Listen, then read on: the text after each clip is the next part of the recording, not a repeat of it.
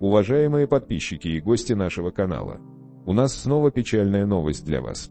Буквально несколько минут назад стало известно, что на 63-м году жизни скончался известный всем актер и кинопродюсер. Он внес большой вклад в развитие кино.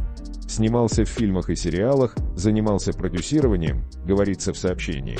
Он навсегда запомнится нам замечательным артистом, обладающим широчайшим диапазоном сценических возможностей. Его талант гармоничен и многогранен, это артист с большой буквы, прекрасный актер, друг, верный товарищ, талантливый коллега. Он был очень искренним и добрым человеком.